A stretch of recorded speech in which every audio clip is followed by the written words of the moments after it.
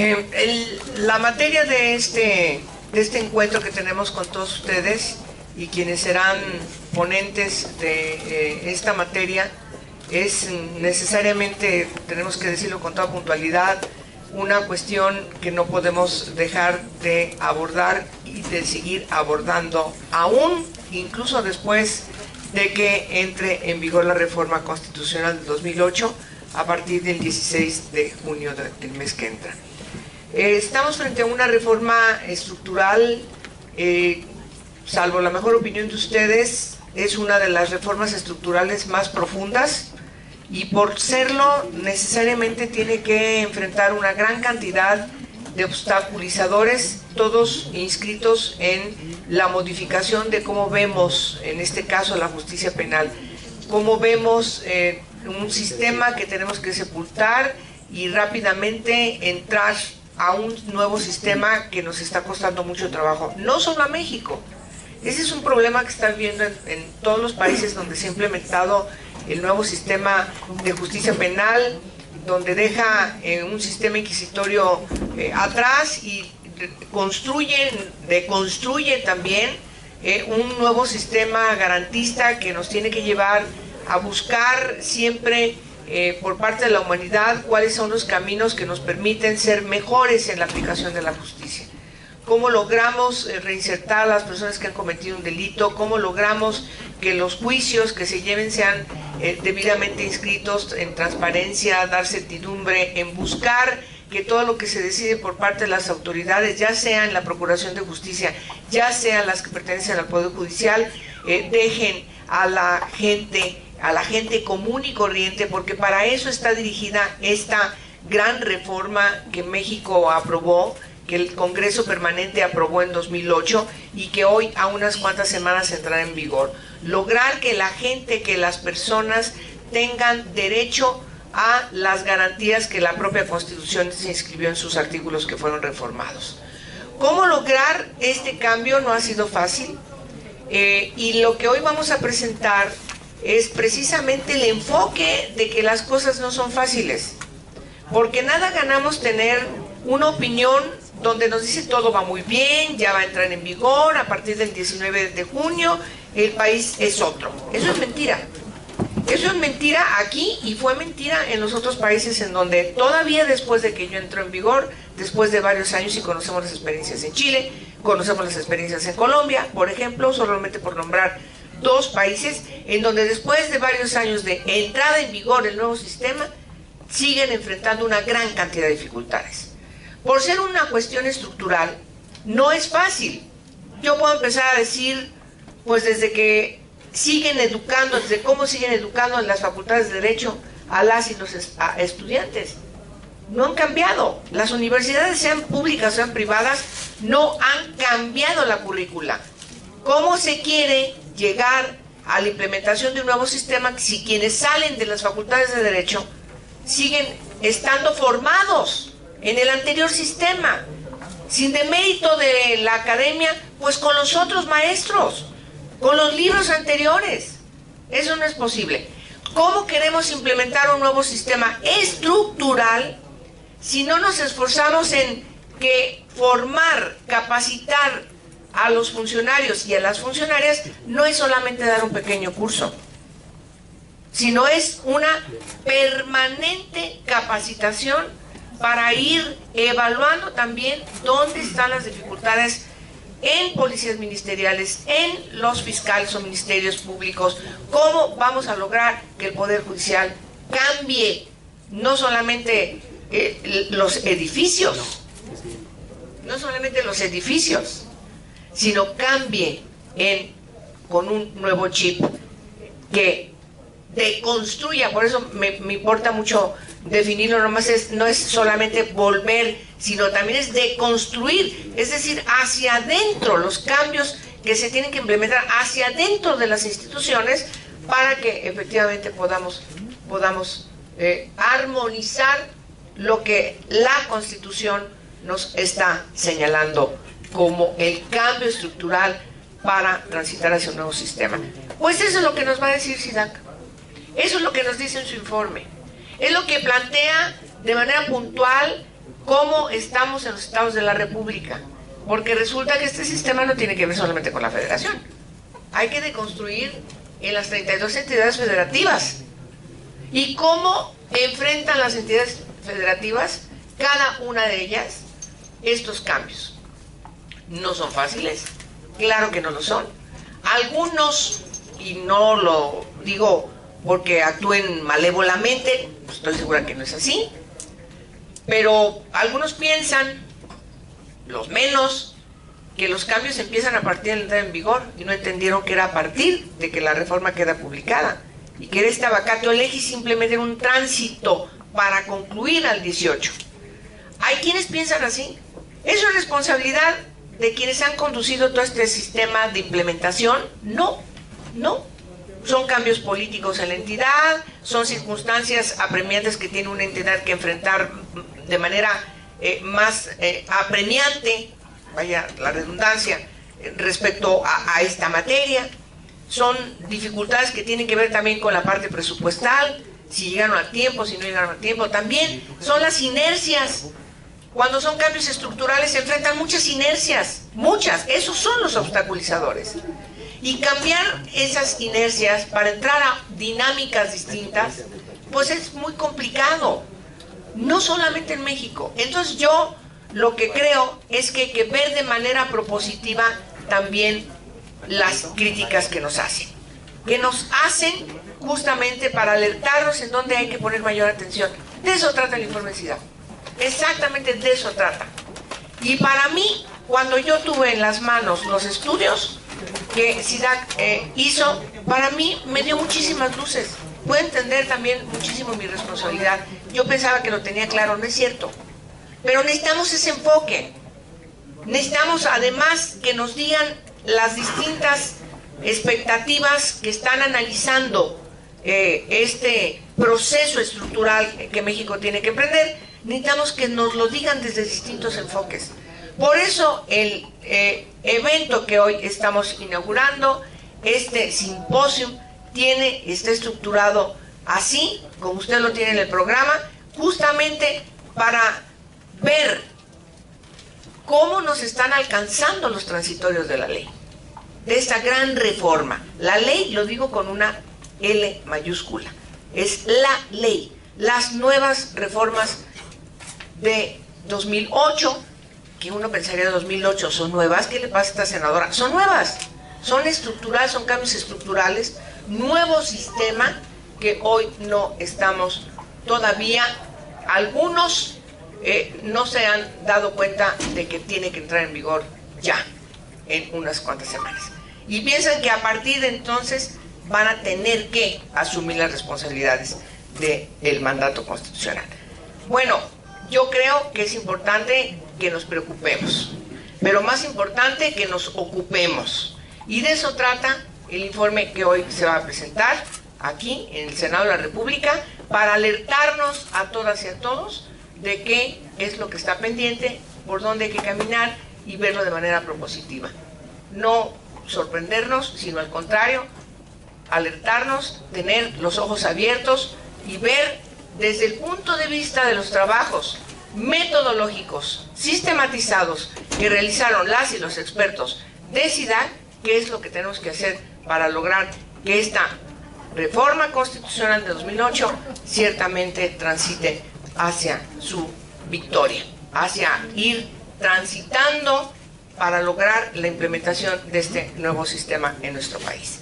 Entonces, me da mucho gusto eh, que en este eh, proceso de presentación, de inauguración, darles la bienvenida a todas y a todos ustedes y efectivamente que tengan éxito en el desarrollo del simposio y felicitar a Belisario Domínguez que desde el Senado de la República está organizando este simposio para que también nos diga a nosotros aquí qué es lo que tenemos que hacer, qué parte nos corresponde para seguir influyendo en que sea exitosa esta reforma constitucional. Porque termino diciendo, hay quienes le apuestan a que fracase. Hay quienes, hay una corriente que sigue todavía dando coletazos del anterior sistema, que sigue estando en algunas posiciones de poder y que también están remando en contra, son los menos, pero hace mucho ruido. Entonces, eh, no hay que cejar en que la Constitución nos está señalando un mandato y ese mandato hay que cumplirlo en tiempo y forma y, por supuesto, atendiendo las observaciones que nos hacen la sociedad civil organizada y especializada para que efectivamente pueda ser victorioso, victorioso este tránsito hacia el nuevo sistema. La verdad es que hoy hablamos de justicia penal, pero ya que, ya que decía muy bien Alejandro Encinas, me gustó mucho esto, el transitorio nos alcanzó. Parecía que no, ¿eh? Parecía que no. Yo me acuerdo todavía en los primeros debates cuando en el 2006 se, empezaron a trabajar estos textos y por ahí apareció el segundo transitorio, el decreto reforma que, que preveía estos ocho años. Yo me acuerdo los ataques a, ese plazo. Me, acuerdo muy bien que alguien dijo, pero ¿a quién se le ocurrió esa estupidez? Es, verdaderamente una insensatez poner ocho años. Alguien dijo en ese entonces, imagínense dentro de ocho años, Felipe Calderón no va a ser presidente. esa era su, su medida, ¿no? La medida presidencialista. Ni siquiera quien es hoy titular del Poder Ejecutivo Federal va a ser. Estamos hablando de, de un tiempo demasiado remoto. ¿Qué creen? Ya llegó. Y ya llegó y pasaron ocho años y no tuvimos ni siquiera el, el tino de prepararnos. Porque hay otro transitorio en el decreto de reforma, ustedes lo recuerdan seguramente. Uno que dice que desde el primer año siguiente a la publicación del decreto se tenían que empezar a dar medidas y aprobar presupuestos y a capacitar a la gente. Y muchos hicieron como que ese transitorio no existía. Y sin embargo ahí estaba, y era la clave del éxito. ¿Por qué? Porque no eran ocho años para hacer todo el cuarto para las doce. Eran ocho años para que diera tiempo de irnos preparando suficientemente, de ir verdaderamente construyendo desde abajo el edificio institucional. Y ahora, a 37 días, no sé cuántos minutos, Alejandro, 14 horas, no cuántos minutos, a 37 escasos días, ahora sí. Ahora sí todo mundo al cuarto para las 12, ahora sí todo mundo con prisa, ahora sí todo mundo con urgencia, ahora sí todo mundo revisando el reloj de CETEC. Ese reloj funciona desde hace mucho tiempo y deberíamos haberlo visto antes. Estamos concentrados en la justicia penal, sin embargo la reforma 2008, cabe recordarlo hoy, es una reforma bastante amplia y omnicomprensiva. De hecho, si se fijan, la reforma 2008 toma como una de sus partes la reforma penal, pero no es lo único. La reforma 2008 incorpora, por ejemplo, modificaciones al artículo 21 en materia de seguridad pública, que no hemos cumplido.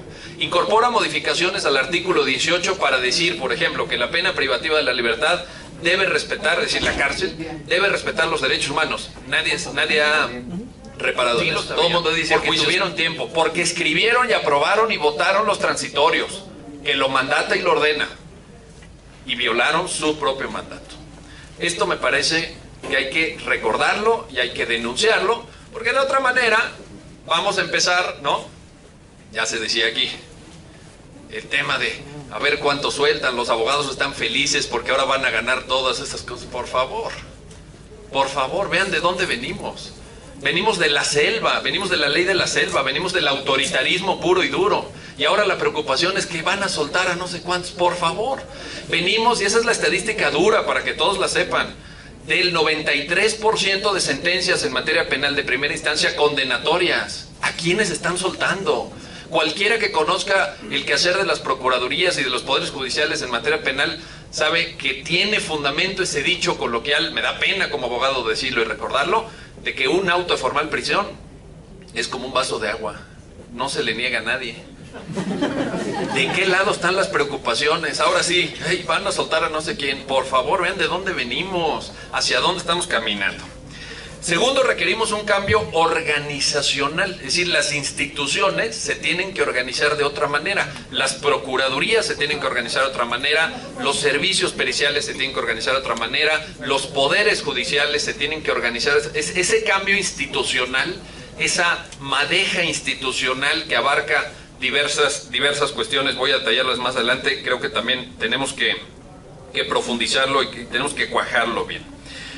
Requerimos un cambio profesional. Fíjese, qué bueno que está aquí este, Alonso para que una vez más digamos, la, tú, tú, eres un abanderado en eso, tú, tú, nos llevas mucha ventaja, Alonso, pero déjame sumarme a tu lucha. Eh, digamos una vez más que se requiere un cambio en la profesión jurídica. Necesitamos mejorar la calidad de los abogados.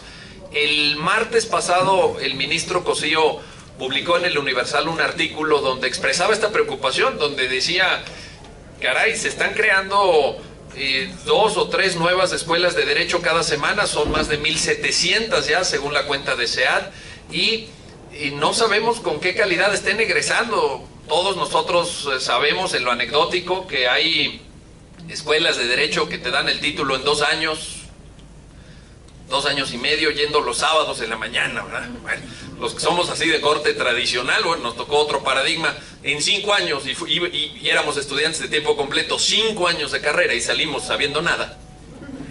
Ahora yo me imagino dos años y medio yendo los sábados. Entonces, la preocupación del ministro Cosío, la, bandera de la profesionalización de- de la abogacía, creo que también es un pendiente. También nos lo quedaron a deber los senadores. Sí, organizaron muchos foros sobre colegiación y certificación y aquí estuvieron. ¿Y? ¿Y qué pasó? Lo que sirve es tomar decisiones. Lo que sirve es que existan nuevas reglas. Todo lo demás de foros y rollito y jajaja y discurso está muy bien, pero eso no arregla los problemas. Lo que sirve es que las soluciones lleguen al diario oficial de la Federación. Necesitamos cambiar la forma de trabajo de las personas. La verdad es que en ese sentido también tenemos un, un déficit en las escuelas y facultades de derecho. No nos están preparando bien para eh, el modelo de oralidad. Simplemente lo más básico, y perdón que caiga en el lugar común, pero no quiero dejar de mencionarlo, hablar en público. Hablar en público. Yo mismo me ha tocado dar cursos de, litigación oral donde llegan los alumnos y dicen, no, es que yo quiero ser un maravilloso litigante en oralidad penal o mercantil o familiar, la que sea. Y, cuando los pones a hablar o te preguntan, te, te plantean una duda y están viendo el piso. Están viendo el piso, no, no te sostiene la mirada. Bueno, cuando se para enfrente de una sala de audiencia, ¿para dónde va a ver este cuate? Va a estar viendo el piso también, le va a dar pena voltar a ver al juez, le va a dar pena voltar a ver al- al testigo, al que está interrogando. Son cuestiones que parecen muy elementales, pero si no pasamos de ahí, si no superamos eso, si no salen nuestros estudiantes sabiendo hablar en público, dominando la oratoria, dominando la retórica, y, y- no quiero no, no quiero caer en el otro extremo de la teatralidad, pero sí, por lo menos que te entiendan. Si tú vas a hablar en una audiencia oral y el juez no te entiende, no entiende lo que estás diciendo, no, no hablas claro, a lo mejor tus argumentos son muy buenos, ¿eh? a lo mejor te sabes del Código Nacional de memoria y sabes construir tu teoría del caso porque tomaste cursos en, en la universidad, este, la, la- la de Morelos, donde están uno de los mejores capacitadores. ¿Y qué haces con eso? ¿Qué haces con eso si el juez no te escucha? No hablas fuerte, no te alcanza a escuchar el juez. Son muy buenos tus argumentos, ¿de qué sirven? De nada. Entonces necesitamos un cambio en lo profesional, necesitamos un cambio cultural también. Perdonen que, me vaya otra vez a la coyuntura, pero no puedo evitarlo. Ustedes han seguido, supongo que algunos de ustedes han seguido el debate en el Universal y en otros medios sobre el debido proceso legal. Vean nada más eso. Vean nada más eso. Un padre legítimamente dolido, legítimamente indignado, que tiene todas las credenciales para levantar la voz y quejarse. Don Nelson Vargas dice, maldito debido proceso. Soltaron a una persona porque en una ronda de identificación de cámara de Gesell no estaba asistido de abogado. Maldito debido proceso. Ok, yo dos días después le contesto en el Universal con el bendito debido proceso y digo, ¿qué hacemos entonces? ¿Qué hacemos? ¿Quién de ustedes estaría dispuesto a ser identificado en cámara de Gesell sin asistencia de su abogado a esa diligencia? Porque, perdone, pero en Estados Unidos hay muchísimos estudios los que vienen de Universidad de San Diego, no me dejaré equivocarme en esto, hay muchísimos estudios que dicen que sin abogado es muy probable que la fiscalía o la policía te haga el famoso framing, es decir, el enmarcamiento. ¿Qué quiere decir el enmarcamiento? La policía tiene una declaración de que el presunto responsable mide más de 1,80. Ponen a cinco, de los cuales cuatro miden 1,60 y uno mide 1,80. ¿A quién va a señalar? ¿A quién va a señalar? En la cámara de Gesell. ¿Sí me explico? Tiene que estar ahí el abogado, no tiene que estar, perdónenme. ¿Qué hacemos, don Nelson? ¿Qué hacemos? Que me diga don Nelson Vargas, ¿qué hacemos? ¿Hacemos esa ronda sin abogado? Podemos discutir, y eso se ha discutido desde el caso Florence Cassé, cuáles deberían ser las consecuencias de que no se cumpla con una formalidad. Eso sí, acuérdense la intervención del ministro Cosío en el caso Florence. Él decía, vamos a retornar los autos al colegiado para que, para que analice sin tomar en cuenta las pruebas que ahorita estamos declarando nulas por el montaje y todo eso. Pero no decretemos la libertad inmediata. Bueno, allá hay un punto de vista. Y es un punto de vista que, los, que varios tribunales colegiados han estado también valorando. ¿Qué procede cuando hay una violación eh, de derechos fundamentales dentro del juicio de esta naturaleza? ¿Es la libertad? ¿Es la nulidad de lo actuado? ¿Se tienen que reponer las actuaciones? ¿Qué pasa? Ese es un debate abierto, ciertamente, pero desde luego que no podemos ir con esta, eh, perdonen que lo diga con todas sus letras, pero con esta cultura de la venganza. Las personas muchas veces quieren venganza, quieren agarrar a quien sea, como sea, y que la pague por todos además. Por todo lo malo que le ha pasado a este país, que la pague. Y esa lógica cultural de la venganza a mí me parece muy peligrosa. Me parece eh, que pone eh, en, un sesgo cultural difícil de manejar. Y lo hemos visto muy recientemente, lo hemos visto, bueno, en, los medios de comunicación todavía el, caso de los muchachos de Veracruz, ¿no? La banda de los porquis de Costa la banda, ¿no? Y uno dice, no, pues la banda quiere decir que violaban niñas todos los viernes. Pues no, solo tienen una acusación en su contra, formalmente, que no ha sido comprobada, que no ha sido judicializada siquiera, bueno, apenas eh, recientemente, que no, ha, que no han podido desahogar pruebas, donde no se les ha escuchado los muchachos enfrente de un juez, pero la sociedad ya dictó su veredicto. Bueno, y las dejen la sociedad. Facebook. No, En Facebook ya les dijeron, ustedes son culpables y no se acepta ni amparo, ni apelación, ni nada. Ustedes ya son violadores, los violadores. En el Universal escribió un querido amigo, el muchacho violador. Todavía no hay juicio. Todavía no se han desahogado pruebas, todavía no lo han llamado a declarar ante un juez. Y ya alguien dijo, no, no, ya este ya es el violador del Costa de Oro, por favor. ¿Qué cultura tenemos? Si no construimos una cultura de la presunción de inocencia, si no construimos una cultura del respeto al debido proceso legal en garantía de todos, en garantía de todos. El debido proceso legal es garantía para don Nelson Vargas también, ¿eh? Y es garantía para que podamos llegar a exigir que se le pongan a los verdaderos responsables del cobarde asesinato de su hijo, de su hija, las sanciones que merecen. Porque si no hay debido proceso legal, les aseguro que no vamos a llegar a la verdad. Si no hay debido proceso legal y vamos a torturar al detenido, el detenido va a contar lo que sea. Lo que sea. Diga usted que es un elefante, sí, claro. ¿De cuántos tiros la mató? De tres tiros. Bueno, si lo torturamos y le apretamos los testículos, va a decir eso. Y si le damos toques, ya saben dónde. Y si le metemos agua por la nariz, y si le aplicamos el submarino, y si lo encajuelamos un buen rato, y si le practicamos una ejecución simulada. ¡Claro! ¿Qué quieren escuchar? El testigo se los va, el detenido se los va a decir. Necesitamos debido proceso legal, no por un prurito de los abogados. No es un tema de abogados, es un tema de cultura democrática. Por eso necesitamos debido proceso legal y no podemos correr ningún riesgo en eso. No podemos dar ningún paso atrás en eso. ¿Cuáles son los objetivos? Tercer punto. ¿Cuáles son los objetivos? Déjenme, déjenme, les denuncio sin, sin ánimo exhaustivo. Primero, mejorar el acceso a la justicia. Evidentemente, no todas las víctimas, ni, ni, ni, ni en muchos casos, desde luego, los responsables son sometidos a control judicial. No todos acceden a la justicia y ese creo que tiene que ser un objetivo. Hay todavía un sesgo muy importante en acceso y no acceso a la justicia en México. Dos, reducir la impunidad. Aquí sí estamos en pañales. Cuando me toca explicar este tema de impunidad con estudiantes de licenciatura, les pongo este ejemplo. Les digo, es un ejemplo muy, muy banal, perdón ustedes, pero ahí, ahí les va. Les pongo este ejemplo. Es como si tú vas a un restaurante y de cada vas muchas veces a un restaurante, a tu restaurante favorito, vas muchas, muchas, muchas veces, y de cada 100 veces que vas a ese restaurante, en 98 te traen un platillo que tú no pediste. Tú no pediste ese platillo. Y solo en dos le atina el mesero y dice, no, pues pide usted una hamburguesa, mira, aquí está su hamburguesa. Y en 98 te trae una sopa, te trae cualquier cosa que tú no pediste. ¿Irías a ese restaurante? ¿Irías contento, confiado a ese restaurante? No, ¿verdad? Es como, imagínense otro símil, pas, pasa DHL, aquí enfrente pasó la reforma, hay una agencia de DHL. Entonces, quieres mandar una carta, un paquete a Monterrey. Y de cada 100 veces que vas a DHL, DHL extravía tu paquete 98 veces. Solo dos veces llega el paquete al destinatario. ¿Irías confiado a DHL? No. Ese es nuestro sistema penal. Ese es nuestro sistema penal. Solo castiga al 1.6% de los delitos cometidos. Entonces tenemos ahí una tarea pendiente importante de reducir la impunidad. Respetar los derechos humanos. Respetar los derechos humanos tiene que ser otro objetivo. Insisto, repito, no por un prurito eh, de, de abogados, no por un prurito de tecnicismos, sino porque es la llave de la garantía de todos.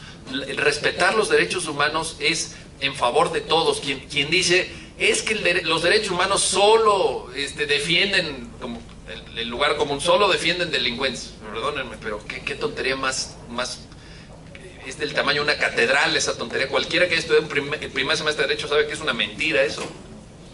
¿Cómo van a defender los derechos humanos de delincuentes si todavía no ha habido un juicio? Si no se han respetado las garantías, si no, si no ha podido desahogar pruebas, si no se han podido promover recursos, eh, ejercer el derecho a la defensa. Entonces, el respeto a los derechos humanos no está de un lado, esto es falso. El derecho a, eh, los, el respeto a los derechos humanos está eh, en garantía de todos.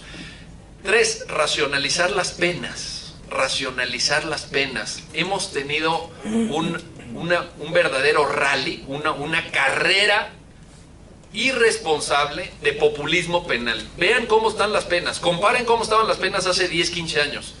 La respuesta de los legisladores para combatir la delincuencia en México ha sido, vamos a reformar el Código Penal, muchachos, ahí les va en la falsa e ingenua creencia, por no decir cínica creencia, de los legisladores de que las bandas de robacoches y de secuestradores están suscritos al diario oficial de la federación. Y entonces dicen, no, no, ¿sabes qué? Ya les subieron a secuestro, ya no hay que secuestrar, mira, mejor nos regresamos a robar. Yo creo que eso piensan, porque es lo que han hecho. Esa ha sido la respuesta. Populismo penal puro y duro. En, en, aquí, por ejemplo, en la Ciudad de México, somos los campeones. Somos los campeones. Uno de cada cinco presos de este país está en una cárcel de la Ciudad de México. Uno de cada cinco. Es decir, el 20% de todos los presos está aquí, cuando solamente somos el 6% de la población. El 6% de la población tiene el 20% de los presos. ¿Y por qué? Pues porque este gobierno, perdón Alejandro, perdón, pero este gobierno del PRD... ¿Y yo por qué? No, bueno, por afinidades, este gobierno de la izquierda democrática, como se diga, pues ha sido bastante populista en materia penal. Y si hay algún delito que haya podido ser considerado grave en cualquier circunstancia, aquí lo es. Aquí lo es. Aquí todo el mundo va en prisión preventiva. Las cárceles del DF están atestadas.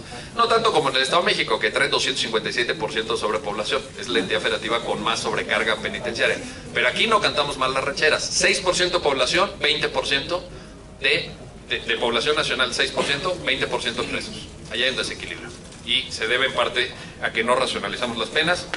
Ser más eficientes, tenemos que ser más eficientes. Por eso se introduce algo que a todos los penalistas tradicionales les da mucho susto y que no quieren ni siquiera escuchar, que es el criterio de oportunidad del 256 del Código Nacional de Procedimientos Penales. El criterio de oportunidad que hace de la acción penal no algo obligatorio, sino potestativo, a los penalistas tradicionales les pone los pedos de punta porque dicen, ¿cómo? ¿Cómo es posible? Entonces, ¿qué va a hacer el Ministerio Público? No va a consignar, ¿no? Pues no, no va a consignar. No va a consignar al que se robó el gancito aquí en el Oxxo. Eso no lo va a consignar. ¿Y saben qué? ¡Qué bueno! Qué bueno que no lo consignen. Quiero que se concentren en quienes están matando, quienes están violando, quienes, quienes cometen los delitos más graves dejen al cuate del gancito del Oxxo en libertad y que pague el gancito del Oxxo y una multa y que se vaya a su casa. Punto. Es que va a robar en el Oxxo de la otra esquina, pues que vuelva a pagar el gancito del Oxxo. Nada más, no, no, no, no gastemos energía en esto porque eso nos hace ineficientes. Y luego generar confianza. Las audiencias orales tienen esa virtud.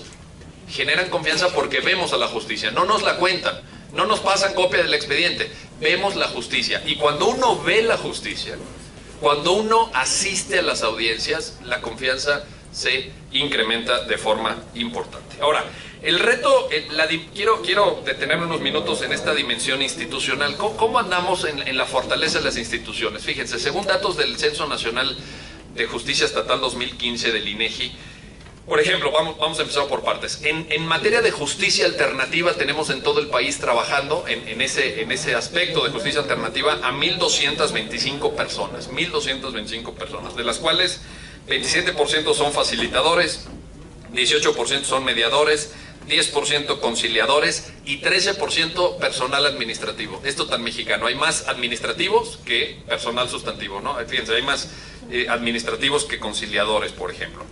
En 2014, em, la justicia alternativa pudo desahogar 136.115 casos. Esto es una medida del éxito de la reforma. Esto es una medida del éxito. Imagínense estos 136.000 casos, ¿qué hubiera pasado si los judicializamos todos? Si, intentamos resolverlos del modo tradicional, obviamente se hubiera colapsado. Y estos son datos para 27 estados nada más. Hay cinco estados que no le reportan al INEGI, que por tanto no forman parte del Censo Nacional de eh, Justicia Estatal 2015. Por eso es que Aquí son 27, 27 eh, estados nada más. El 61% de estos 136 mil casos fue resuelto por mediación, el 15% por conciliación.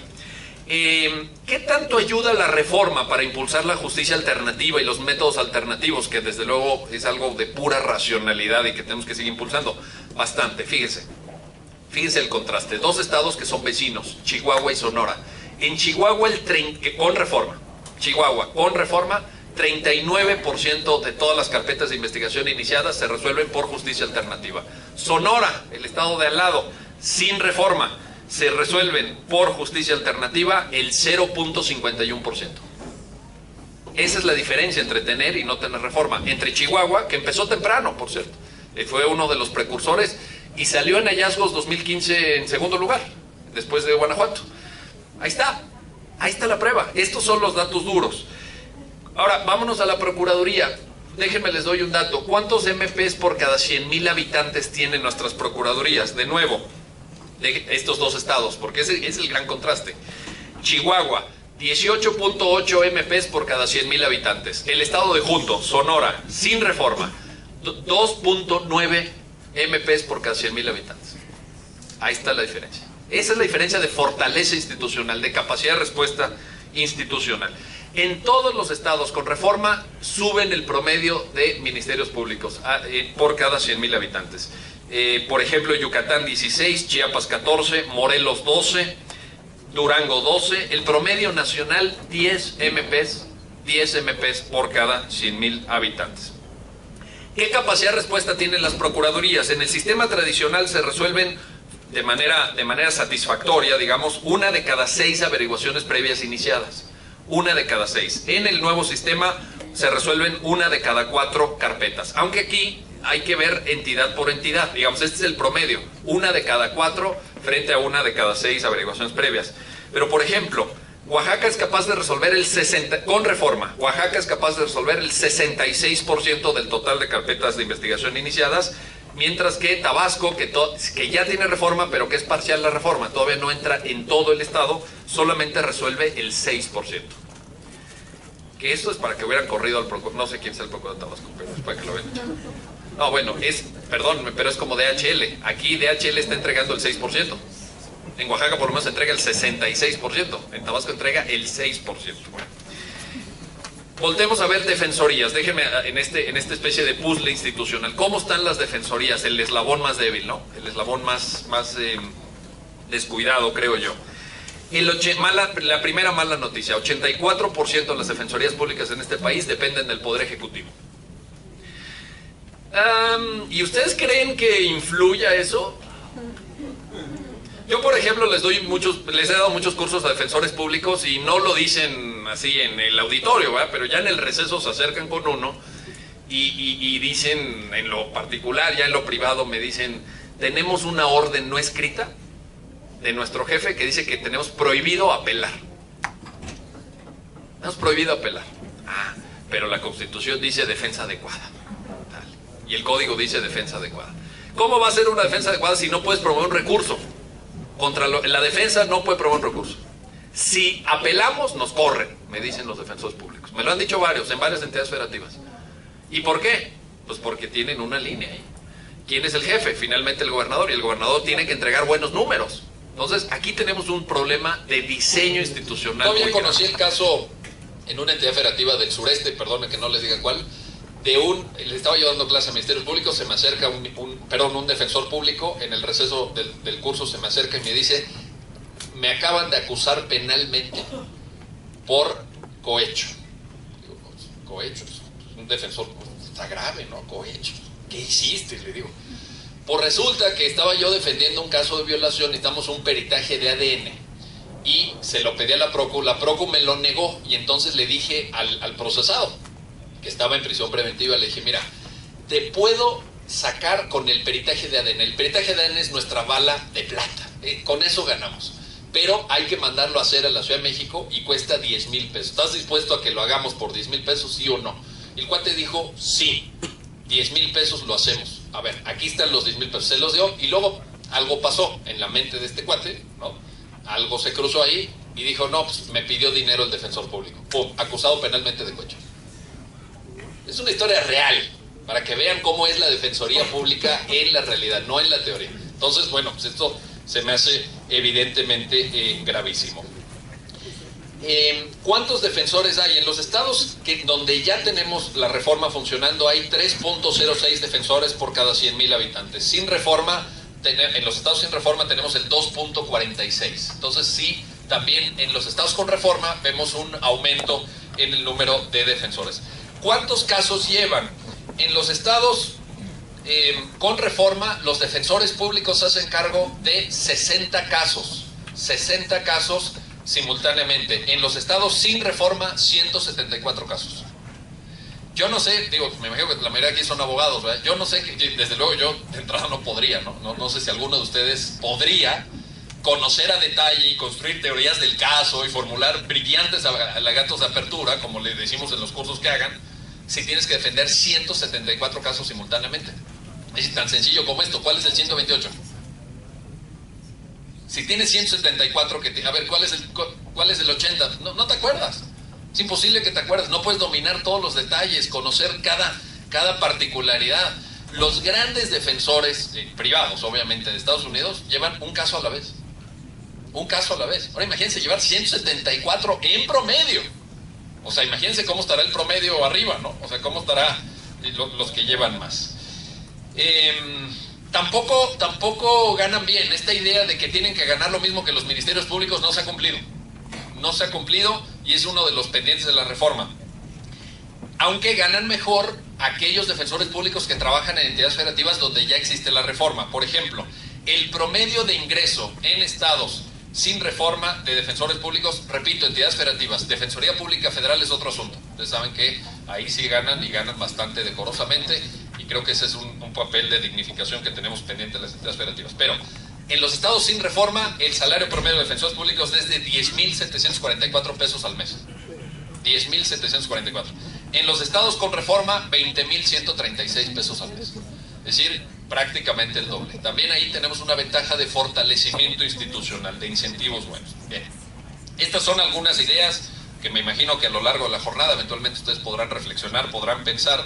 Y quiero terminar con esto, eh, porque un poco la, convocatoria entiendo decida que era también para ver, bueno, ¿y qué sigue? ¿Qué, es, lo que, qué es lo que nos hace falta, etcétera? Yo creo que debemos de, de concentrar, o diría yo, así como tareas importantes, eh, mencionaría seis puntos. La primera es involucrar a la sociedad en esta reforma, no lo hemos logrado, necesitamos herramientas comunicativas mucho más ágiles y mucho más eh, efectivas. Esta, esta cosa que hicieron, por ejemplo, en el Estado de México, todos lo han visto los que, los que hayan salido por la carretera a Querétaro, este espectacular de que ahora con la reforma eh, vamos a tener procedimientos más justos, un espectacular enorme. Reforma penal Estado de México. A mí eso no me dice nada. Esos, esos espectaculares cuestan como 50 mil pesos al mes, para que se una idea. Este, procedimientos más justos. Yo lo sé, la gente que va en el pecero entiende eso. ¿Le hace algún sentido eso? ¿Para qué te gastas 50 mil pesos al mes en eso? Necesitamos eh, eh, eh, herramientas comunicativas mucho más ágiles. Necesitamos, por ejemplo, contar historias de éxito del nuevo procedimiento penal. O sea, a la, a gente no le hables, ahora vas a tener un, un asesor jurídico si eres víctima. ¿Eso qué? dile a fulanita de tal que le robaron el, mandado cuando regresaba, no sé qué, o a, fulanito que lo asaltaron en el pecero con la quincena que traía en efectivo de la obra, resulta que el MP lo atendió así y en dos semanas le regresaron su lana. Eso sí, eso es algo comprensible, son historias concretas de carne y hueso, pero hacer comunicación social como si fuera dirigido a un foro de especialistas en derecho, me parece que es tirar el dinero a la basura.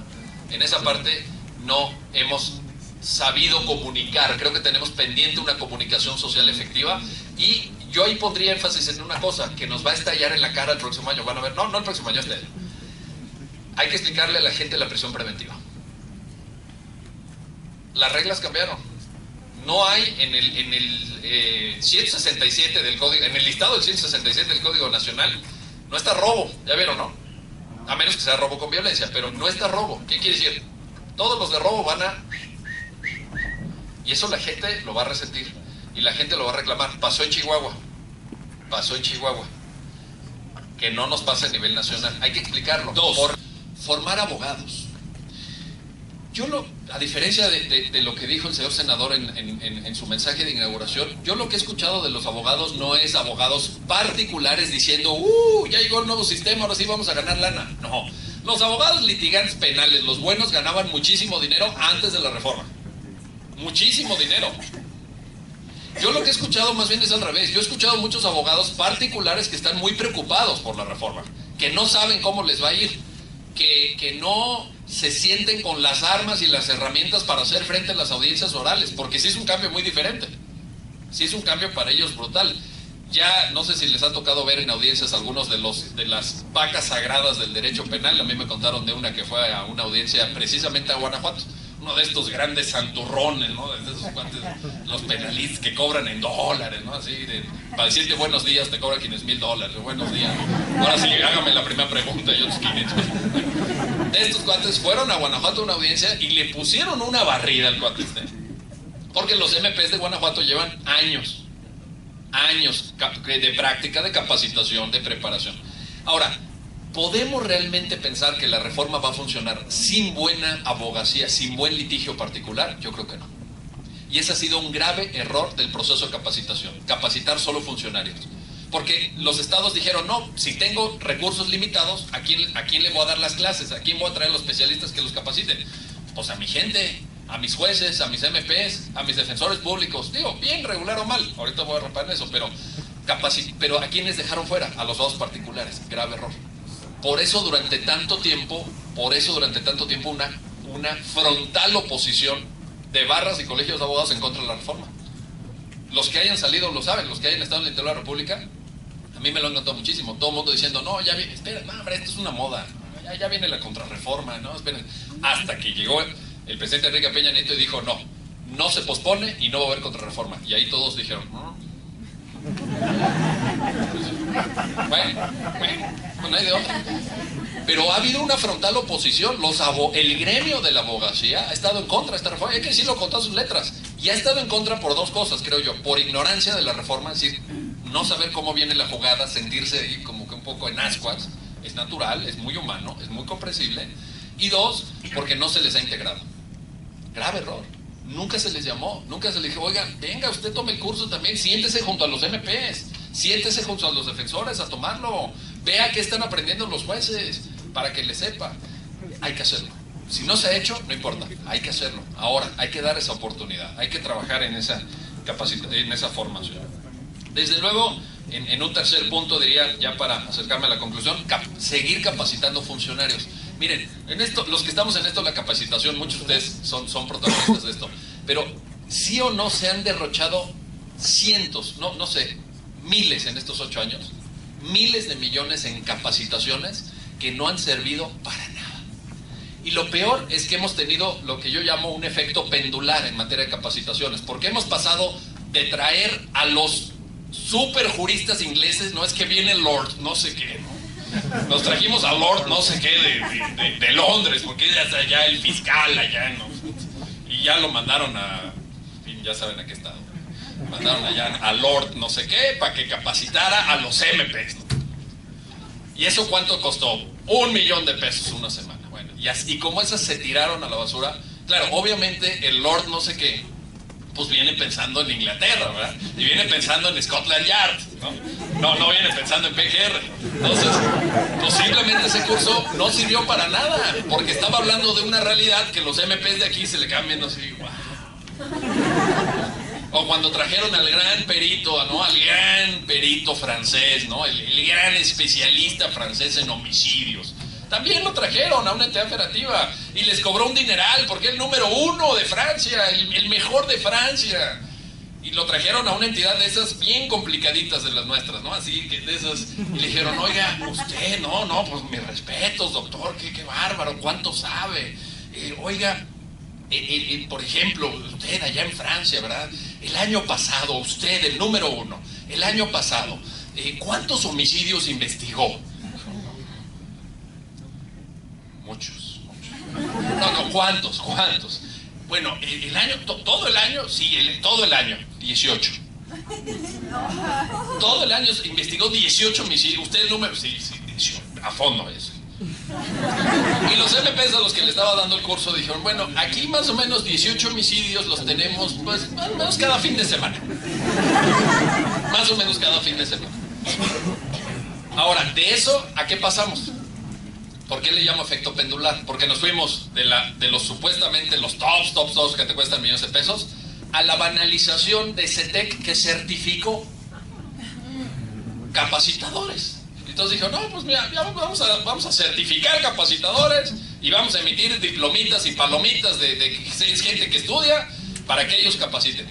¿Cuántos capacitadores? No sé, son miles. Yo he visto a varios dando clase y, en fin, eh, no quiero agraviar a nadie, ¿verdad? Pero esos capacitadores certificados de CETEC hasta suben sus diplomas a Facebook y dicen, no, aquí está la foto de que yo soy certificado. Yo, por ejemplo, no soy certificado, nunca me certifiqué. Bueno, la primera me la dieron porque la primera vez se acuerdan que no pedían nada. Entonces, oye, ¿estás de acuerdo que se... La segunda me dijeron, tienes que mandar tus papeles. No mandé nada. No, no tampoco me llegó. No mandé nada. yo no estoy certificado. No estoy... Ni me voy a certificar. Me da igual si me certifican o no. Y he capacitado a muchísimos operadores. Y doy muchísimos cursos y muchísimas conferencias sobre el tema. Y no me falta ninguna certificación. Pasamos de Lord Fulano a miles y miles de capacitadores que no han escrito una línea, que no han publicado un artículo, que no se sabe que sepan de nada, pero ahí están ellos capacitando. Tenemos que poner seriedad en esto. O sea, ni tan tan, ni, ni el millón de pesos por una semana de clases, ni esta banalización, que además, aquí sí, aquí sí lo tengo que decir, en favor de los capacitadores, les pagan una miseria. Es una burla el, el, el tabulador de CETEC es verdaderamente una burla. Yo conozco el mercado académico de la A a la Z y les puedo decir exactamente cuánto se cobra por dar clases y lo que están pagando a capacitados de CETEC certificados es verdaderamente una burla. Si tienes doctorado y eres fulano tal, no creo que te pagan 800 pesos la hora. Bueno, yo empecé a dar clases de posgrado, regresando a mi doctorado en 1997 en la Universidad Cristóbal Colón de Veracruz y cobraba mil pesos la hora en el 97. Y ahorita están pagando en 2016 800 pesos. No freguen. No freguen. ¿Cuánto? Sí, no, 800 a los de doctorado, Alonso. No, no, a los de licenciatura 400, sí, claro. A los de licenciatura 400. Estoy hablando del top. El top del, del tabulador de son 800. Estoy hablando de los mejores. Perdónenme. ¿Quién va a ir a capacitar por 800 pesos la hora? Pues no, sí, miles. Pero si quieres pagar mal, ¿qué, tipo, qué nivel de capacidad vas a tener? Pues ahí está. Eh, cuatro, cuarto reto, lo dije al principio, con esto también eh, eh, lo, repito, complementar el marco jurídico. Ya no puede pasar más. Están todavía que sin, que sin periodo extraordinario, que si no periodo extraordinario. Quieren convocar periodo extraordinario para el Sistema Nacional Anticorrupción, que sin duda urge. Sin duda urge. Pero no traen, no traen. La urgencia ahorita es 18 de junio. La urgencia es 18 de junio. La urgencia es sistema penal. Entrémosle al Sistema Nacional Anticorrupción, está bien pero no nos desviemos, necesitamos las leyes, el marco normativo, porque eso ya está en el tic-tac del reloj de CETEC. Esos 37 días que decía Alejandro, ya mañana van a ser 36 y luego 35 y ya. Si no hay periodo extraordinario para esta legislación, vamos a estar en graves problemas, en graves problemas. Porque además no nada más se trata de publicar la ley, luego hay que interpretarla. Hay que leerla, hay que entenderla, hay que interpretarla correctamente y hay que saber aplicarla. O sea, el reto realmente es importante. La quinta cosa que creo que tenemos hacia el futuro, y, esto pues también a lo mejor valdría la pena, es, es tema de otro foro, pero lo menciono, interpretaciones jurisprudenciales. He visto jurisprudencias que sí las hay, hay más de 300 tesis jurisprudenciales ya sobre el nuevo sistema, sí, sí se va conformando un corpus juris jurisprudencial importante, pero todavía con muchas dudas, todavía los jueces, unos sí, otros no, un colegiado sí, otro no, otro quién sabe, otro para atrás la Corte dudando también en algunos temas, eh, la primera sala sí, la segunda no, en fin, eh, yo creo que necesitamos una jurisprudencia que mande mensajes claros, que mande mensajes claros a los operadores, porque el juez que está abajo, el juez de primera instancia, que tiene que hacerse cargo del día a día, dice, bueno, ¿y esto cómo se come? Les aventamos nueva ley de amparo, les aventamos control de convencionalidad, les aventamos jurisprudencia de la Corte Interamericana obligatoria. Le decimos, órale, señor juez, éntrele pero primero decimos que sí, y luego la segunda sala dice, mm, sí, pero si te lo invocan, si no te lo invocan, no. Luego el pleno dice, bueno, pero si eres tribunal colegiado, control de convencionalidad solo respecto de lo tuyo. No te vayas a aventar ahí contra el Código Nacional. Bueno, ¿qué es esto? Necesitamos un corpus juris jurisprudencial que mande mensajes de claridad, de contundencia en favor de la reforma. Y la sexta y última cosa que quiero eh, poner a consideración ustedes para el futuro es que necesitamos mecanismos de evaluación y seguimiento. Mecanismos de evaluación y seguimiento. ¿Quién está haciendo la tarea? ¿Quién está haciendo bien la tarea? ¿Qué tanto están trabajando? ¿Cómo, cómo, cómo estamos avanzando? Pero casi, casi les diría medición eh, de, evaluación y seguimiento en tiempo real, porque hoy como la mayor parte de estudios depende, por ejemplo, SIDAC, que, son la verdad quienes han hecho un, el, el, mejor trabajo en este sentido, y hoy, hoy van a escuchar los hallazgos 2015 y todo, a mí me gustaría que hubiera, por ejemplo, lo mismo que hacen en SIDAC, pero de parte de CETEC, no 2015, no, no en mayo de 2016 que nos cuenten cómo estuvo 2015, no, que nos lo cuenten mes a mes. Mes a mes. ¿Qué debería de estar haciendo CETEC a partir del 19 de junio? Debería de estar eh, dándole seguimiento, siguiendo capacitarse. Sin duda CETEC tiene que seguir capacitando, pero debe de estarle dando seguimiento en tiempo real. Por ejemplo, tendría que denunciar a las procuradurías que no envían a tiempo su información al INEGI. Debería de estar haciendo rankings. Eh, si ya hizo el ranking, ¿por qué no lo hizo CETEC? ¿Por qué no CETEC dice Guanajuato va bien, Chihuahua va bien, Sonora no va bien, etcétera? Necesitamos un ranking oficial con seguimiento, pero en tiempo real, no año con año, porque cuando, cuando lo hacemos con años atrasados, yo por ejemplo ahorita les di cifras de 2015 2014, ¿por qué? Son las cifras del INEGI. Esas son las cifras disponibles, no tenemos otra. A mí me gustaría que CETEC informara en tiempo real cómo vamos, evaluación, seguimiento, etcétera. Estas son algunas de las tareas pendientes. Seguramente se quedaron muchas eh, eh, todavía por mencionar, pero para eso tienen ustedes este, esta convocatoria y esta jornada. Gracias por su atención.